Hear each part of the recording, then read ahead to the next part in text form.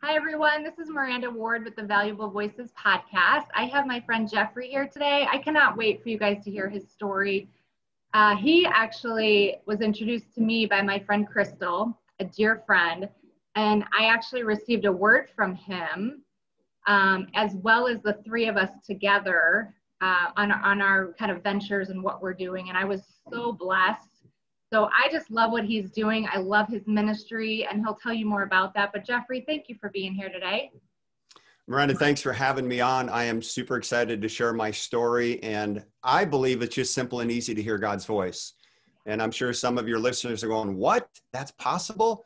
It's very possible. But when I grew up, I, I didn't learn how to hear God's voice. But over the past few years, I've been able to recognize and then teach others how to do it. So yeah. I'm excited to to share so that your listeners can get encouraged as well too. Yeah, thank you so much. And it's funny, Crystal and I met in a program, which I think you guys kind of met that way too, how to hear God's voice and what's what's my purpose. So again, I just love so I just love the people God's bringing into my life too. I've just been so blessed. And again, I want to share amazing people like you because my whole thing is valuable voices. Know whose voice you're listening to. And for me, God's voice is number one. And it took me a while to realize that. So there's lies we can believe that we don't hear him and is that him and all of that. So i just would love to hear kind of how you got started in your ministry and then of course you know what you're doing now with your course that you're offering as well. Well i used to live in minnesota and the lord called me to go to bible college in colorado springs. So after that um, i found out about a ministry uh, and ended up getting trained up uh, how to hear god's voice for other people and so we were taught you give a word on demand, like immediately. So if I would say, Lord, what do you want to say to Miranda? Immediately, I just believe the Lord's going to give me the answer because he's right here with me. Why would he not give me that answer? But I found out real quickly that not everybody wants a word from the Lord. I was just like, want a word, want a word, want a word. And some are just like, no, I don't want a word. So I just had, I guess, uh, maybe your viewers understand, like, I'll, I'll just call it like intuition. I just had this intuition. I just kind of sense things with people and found out later that it was actually a word of knowledge. And for those who don't know, a word of knowledge is something that has happened in somebody's life or is happening right now. And so when I just started stepping out, giving words to people, it was like, how'd you know that? It's like, I have no idea, you know, but the Lord knew them. And I think he did that just to get their attention because it's like if they're skeptical, if they don't know if God can speak to them, uh, that was something that that uh, I don't know makes them believe, I guess. But there was one time, Miranda, that that that really got the ministry started. The Lord told me, He goes, Jeffrey, I want you to post an ad on Craigslist and ask anybody if they want a word from the Lord. It's like, Lord, do you know who's on Craigslist? It's like he goes, I love them. It's like, okay. So I mean, I made a deal with God. I don't know if anybody's ever let's make a deal with God, but I said, okay, I'll do this but I don't want to use my personal email address. He goes, okay, well, you can't ask uh, for their last name, anything except their first name and email address. It's like, Lord, are you like making me trust you for this? Because all the words I've given to people are in person. But in this case, it was just like I picked my phone up and the first guy was Mike. I said, Lord, what do you want to say to Mike? And emailed it to him. He was so blessed. His wife got a word and then his, his son got a word. And long story short, there was about eight people that week. And the Lord said, you can take it off. It's like, okay. So over the next year, I, the word just got out that I was given words via email. And when it came time to what's the name of the ministry, I didn't know, but God gave me the, the email address was a transforming word at Gmail. And my friends are just saying, Jeffrey, it's obvious. It's a transforming word. It's like, okay, so it's a transforming word ministries. And that's how it got started. And so now what I basically do is I have workshops or um, group coaching program where I teach people how simple and easy it is to hear God.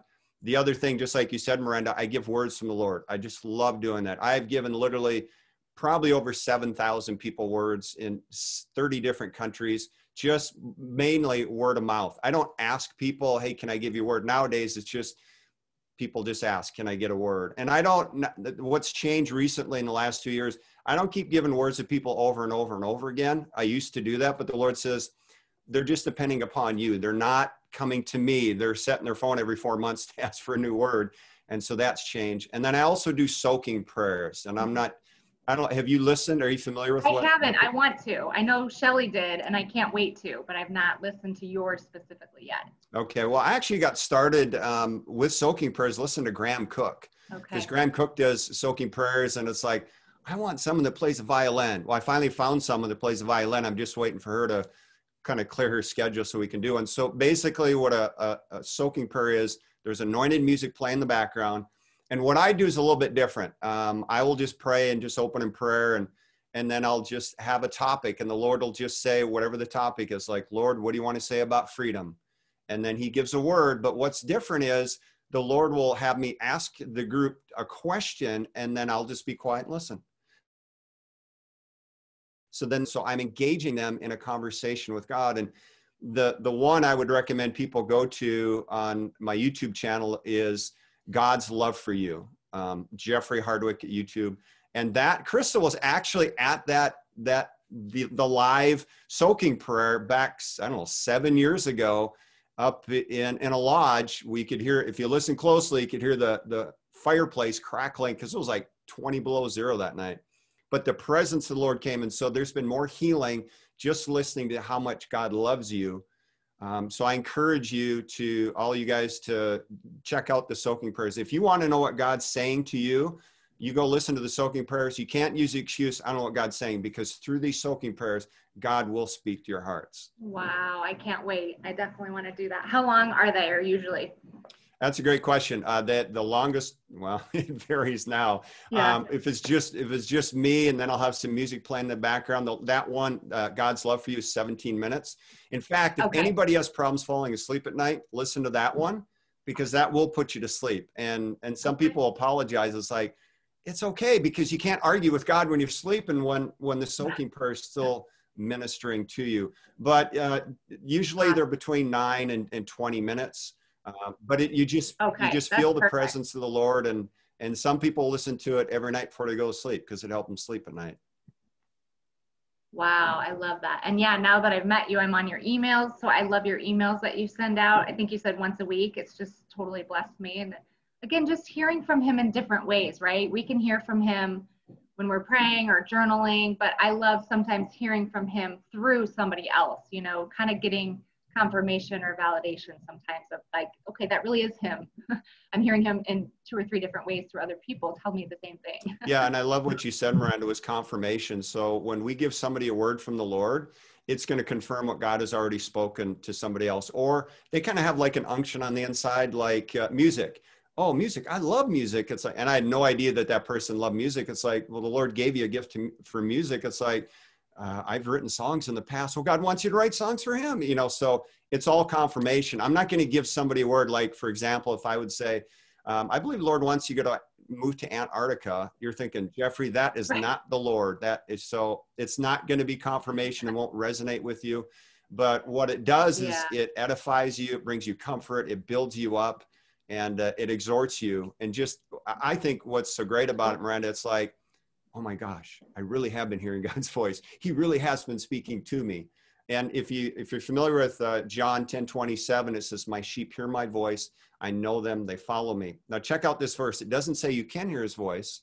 It doesn't say you will hear his voice. It says you hear his voice.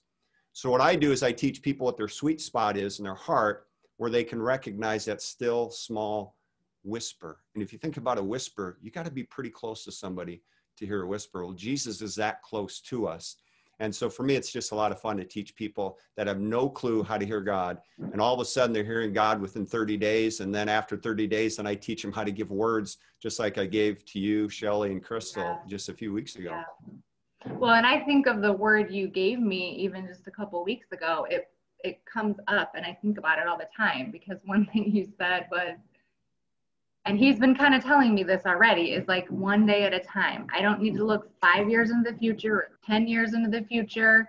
And that has just really blessed me. And i'm just more present you know? I'm just more present. I'm like i don't have to worry about tomorrow. What am i going to do today you know so i think about that over and over again. And again he was kind of sharing that with me but again it was confirmation that like okay i really no really need to just take one day at a time. Yeah and i love that you shared that too because when you do um, receive a word i encourage people to listen to it again and again and again.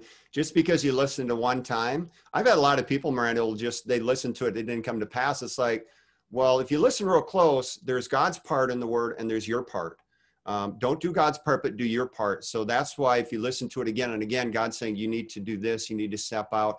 whatever the gift is. Maybe God is saying um, you need to take lessons, you know, let's say for music um, or art or whatever it is, that God's just going to say you need to do these things. If you don't do them and the word doesn't come to pass, it's not on God. We have to play our part, but don't look at it as, as works. It's more obedience.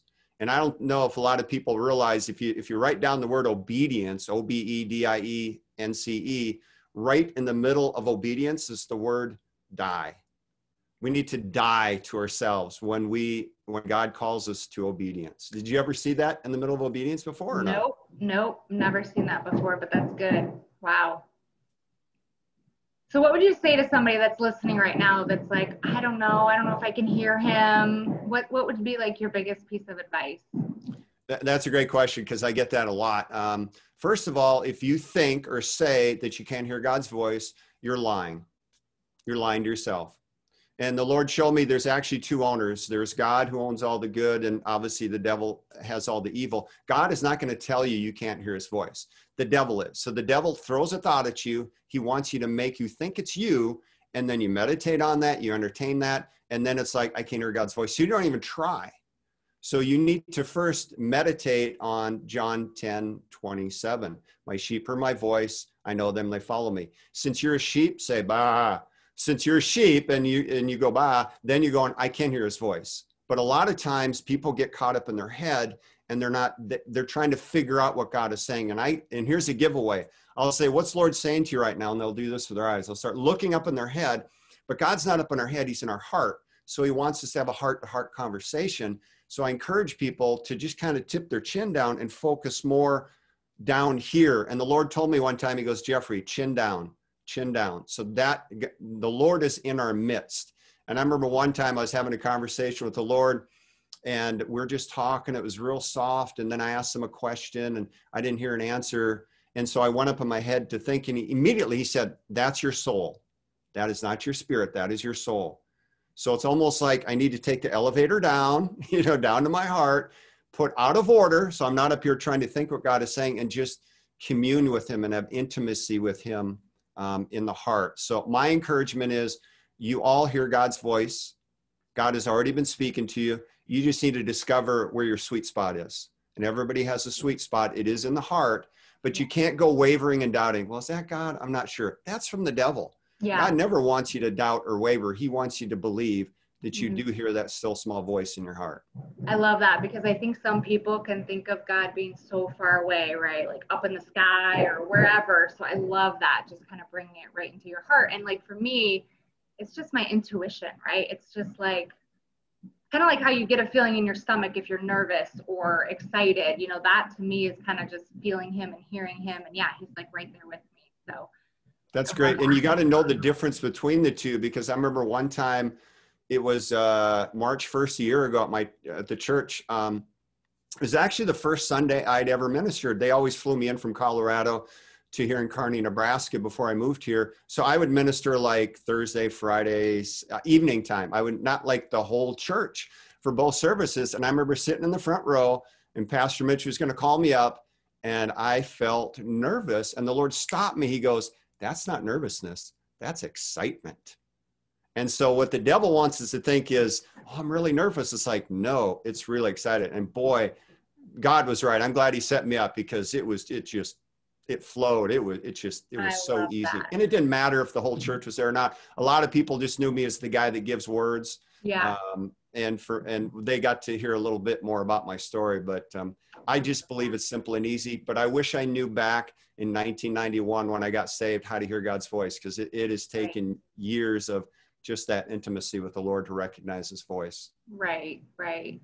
So you mentioned maybe people don't like to get a word from the Lord. What do you think that's about? that's a great question. I asked the Lord that just like an hour ago. And um, I'll, I'll just be honest with you women are more open to receiving a word than men are. And I'm wondering, why is that, Lord? Um, one possibility could be pride. Don't tell me what to do no, don't, don't tell me what to do. The second reason, and this is why I was resistant receiving words years ago, he's probably going to tell you to change. It's like, I don't want to change, but you do want change in your life. Yes. Well, that means you need to change. So he's going to, he's going to tell you things. But I think the third one is they're believing a lie that they're not seeing God for who he is. They think he's going to like when they say people read your mail, like I read your mail, so to speak, it's like, oh my gosh, he's going to show all the mistakes. It's like, is that really our loving God? He's not going to expose that. Now, if there's a correction, for example, I've given words like this. Uh, some will say, the Lord will just say, hey, you know, there's some relationships in your life where the season is over and you just need to let go and move on because I have new healthy relationships. If you want to figure out what that really means, is you're in a toxic relationship. God's been telling you for months, if not years, to get out of it. He does it in such a loving way. And I believe it's in the book of Proverbs where it says, the Father um, he corrects those whom he loves. And if you think about it, we're all on a course correction. I mean, literally every single day. We, if we were like where we're supposed to be right now, I think that's the moment we're, we're going to heaven. So just realize that God keeps loving us. And if God gives us a word that just encourages us to make a course correction, so be it. But you, you all need to be willing to receive uh, an encouraging word from the Lord. That's what I call it. It's an encouraging word from the Lord. Amen. I love that. I love that. And I think the test is that it feels like love, right? Yes. And again, whenever he talks to us, it is. It's just peace and it's love. So if it doesn't feel like that, it's probably not from him. No, um, and th- th- I'm glad you, you mentioned that too, because um, what I the Lord coined this phrase to me. I don't, even though I'm in the office of a prophet, I don't use the word prophecy. I rarely use that. And the Lord just gave me a word. They're called love letters from heaven and he said one day he just said jeffrey you're just a mailman. You don't write the letters you don't censor them you just deliver them. Well that took the pressure off of me. And that takes the pressure off of the students that i coach too. When they realize that they don't have to guess or come up with a word that they just simply need to ask god questions and he gives them the love letters right then and there then it just frees them up. And uh, that was super encouraging to me. But when god gives me a word it could be a word of knowledge. It could be a word of wisdom like okay, what do I need to do? Do I need to take this job or this job? Do I need to move here or here? And then obviously, a prophetic word is something that can uh, speak of the future, but it also has the power to change the present.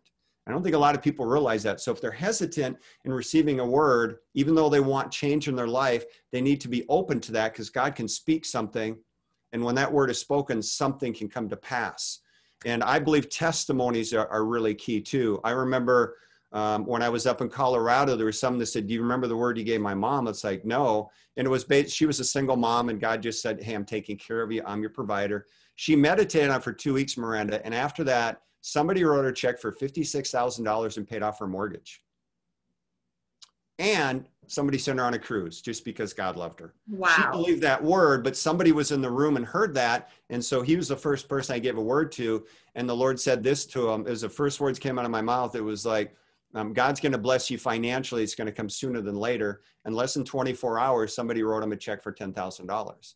And I believe if that testimony wasn't shared and if I didn't say that word over that person, that would not have happened. So there's oh, so much power in words. So your listeners are going, Well, I want that to happen to me. Well, here's the good news the word testimony means to repeat, duplicate, do again. And God's no respecter of persons. He doesn't show any partiality. So you can say right now, Lord, you did that for somebody else. You can pay on my mortgage off too. Uh, uh, yeah, mortgage free. Imagine what that would be. In fact, I'll just declare that you guys are mortgage free in Jesus' Amen. name. Amen. Awesome. Awesome. Yes. I love it. So I know you have courses coming up in May, it sounds like, so people can go to your website. What's your website again? Can you tell us? Yes, it's atwministries.com. If you look at the tabs up on top, it has coaching. If you click on the coaching, you can scroll down and look at uh, some of the testimonies of the students that already went through the program. I have two right now, two coaching programs, but I only tell what one of them is. They can find out the second one when they go to the web, the web page. But um, it's called Hearing God Clearly. How many of you would love to hear God clearly? It's just a 60, yeah. it's 60 day program. Um, I, I send you weekly assignments. You have an accountability partner that, that keeps you accountable every single day that you get to choose who that is.